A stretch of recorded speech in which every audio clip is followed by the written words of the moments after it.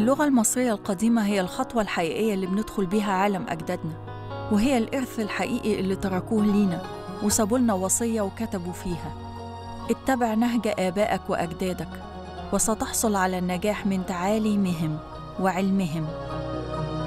احفظ كلماتهم افتح واقرأ وستحصل على حكمتهم. فمن تعلم علم الأجداد أصبح رجلاً ماهراً.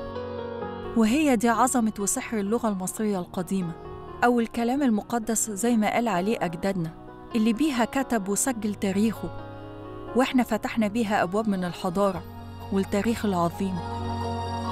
ومن لغتنا القديمة هنتعلم إزاي نقرأ حكاياتهم وهنعرف ليه مصر جاءت أولاً ثم جاء التاريخ.